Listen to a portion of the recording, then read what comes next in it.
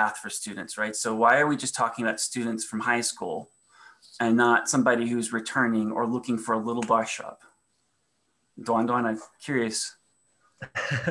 yeah, Park, um, because they're not the main part of the revenue. Yeah, there's not enough they're not of them. the main revenue stream.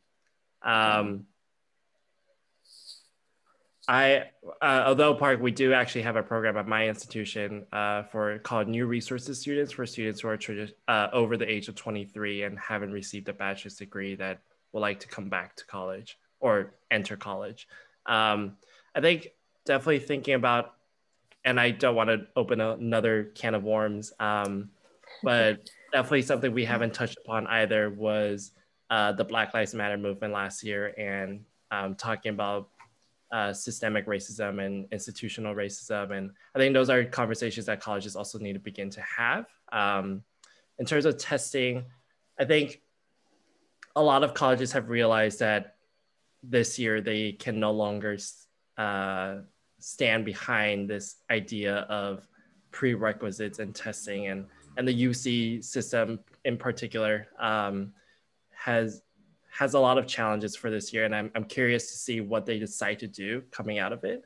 Um, for uh, AP and SAT has been called out a couple times for um, being a for-profit institution. Uh, College Board had a 2.1 billion dollar revenue last year. Um, their CEO makes millions of dollars.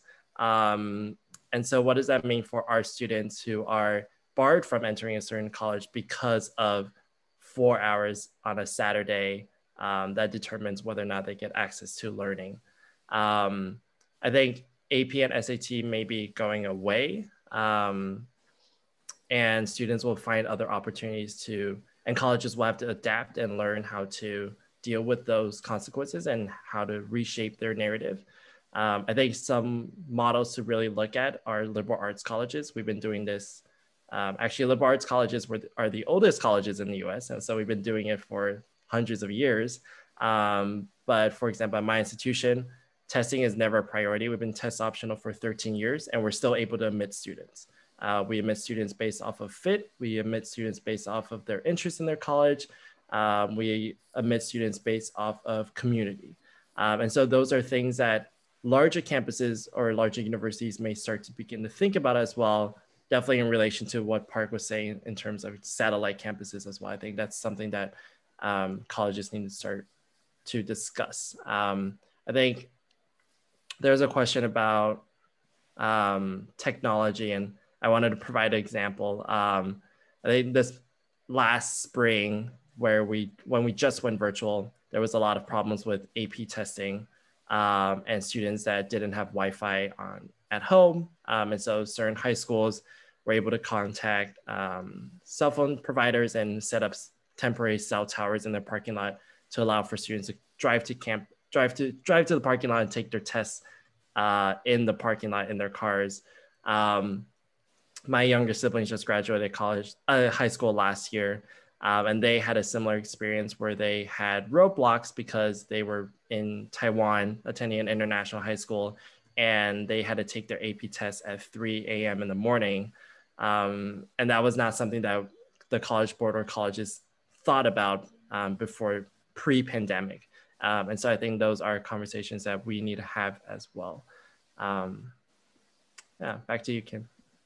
Yeah, so we have a little uh, Q&A going on in the chat here, but there was a couple of things brought up. One was, um, is there any downside to um, some of these new tools that we're hearing about today, like Twitch and some of the other ones. Um, I don't know, Gary, if you want to just touch on that. I know you answered it already. Sure. I'm. Um, I was just looking at Debbie's comment about you know faculty being challenged.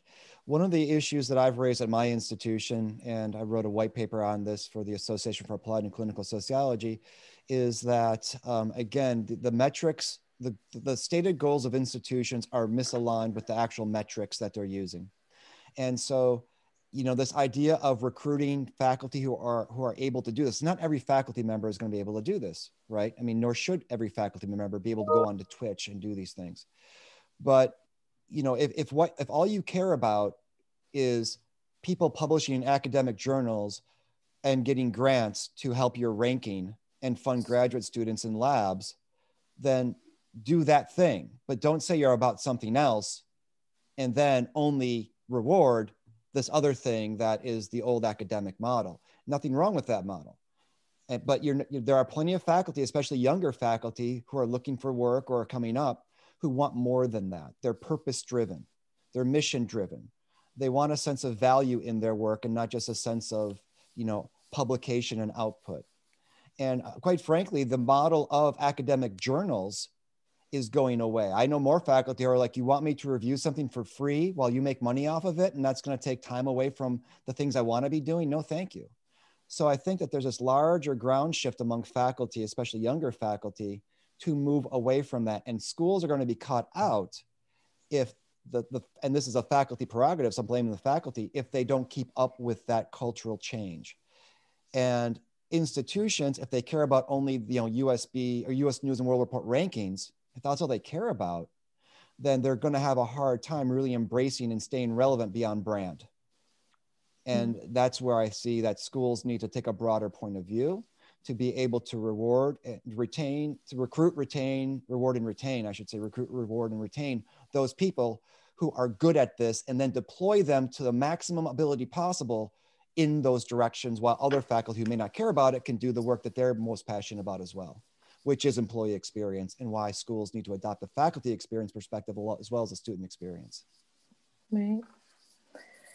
Well said, Gary. Um, well, we have uh, certainly talked about a lot today. We only have a few minutes left. Um, I think I just want to, I just want to kind of end by saying we we have a lot more conversations to have. We have a lot more to learn, and I think that I appreciate you all throwing out there so many great things that we as designers and planners and uh, you know just design professionals can think about as we move forward and as we see how this shifts not only this year and next year as we go back to campus but how we think of how this is going to be over the next five to ten years. Um, it'll be really interesting to maybe do a follow-up to this in a year from now and see how much more of these things that we're seeing. But you've all been able to uh, explain to us and share with us your examples of how certainly technology is, you know, they have a seat at the table now. And I think that's a very, very important thing that we all agree is essential going forward. It sounds like experience design, which I've, I've heard a lot of architects, you know, using that model going forward. That's just going to become commonplace. and Duan Duan, it's been really enlightening to hear from your perspective to see how we should be thinking a little bit more about um, how the students are getting to campus, and not only that, but how important it is for folks in, in the administration and your positions that you know we can't design more and we can't help um, with capital programs if we don't have students. And your your survivability uh, was enlightening to me of, of how uh, campuses are approaching thinking of that uh, way in advance. And so I, I, hope that folks have have picked up on some of those important topics as we go forward um, so each of you, I don't know if you have a couple just uh, ending remarks that we can give people back their, their time for the day and move on. Anything? I guess I'll go. I guess I'll go first. I, I, would just encourage people to take that systems point of view. You know, Duan Duan and Chad said staff. Absolutely, staff across you know areas of the organization, including facilities management people in facilities management typically are likely are more likely to see students than faculty are quite frankly. Most faculty see students in the classroom and that's it. Students see people who do the work on the facilities far more. And so when we're thinking about the broader stakeholder perspective we really got to take that 30,000 foot view so we can drill down to those specific touch points and design those experiences around those touch points to create the better overall experience across the ecosystem Thanks, Gary. I think students are a lot more aware of higher education in the US and colleges and institutions than colleges and institutions may believe so. Um, students are definitely watching the steps um, of what these colleges and universities are doing, and um, that is a determining factor on their uh, application or retention in that college. I think colleges and universities tend to be slow in terms of response and collaboration and working with one another. Uh, we're a slow organization in terms of getting anything done because we have so many committees. Uh, and I think we really need to step that up and change that, similar to changing that academic model, changing that college model. Um, what can we do to better collaborate between the offices, between staff and faculty, so we can work towards um, keeping up with this super fast paced society that we find ourselves in now. I, like the point about super fast society, and so I'm always encouraging. I, you know, I'll be the first technologist to tell you that something is not a great application for technology. It should just be a white box or something, right? And and those are moments where I'm trying to think, and I encourage us all to think about ways we can lower the barrier to discovery and create creative solutions um, I think that's the moment right now. We shouldn't be building brand new. I don't know. Maybe there are times where it is, but but I I encourage people to get away from uh, in this moment building a brand new building with new classrooms, and instead thinking about can we try something? Can we break something down? Can we try things a bunch of different ways, or can we look at ways in which we're already prototyping? Um, uh, this is a really good moment for that level of thinking.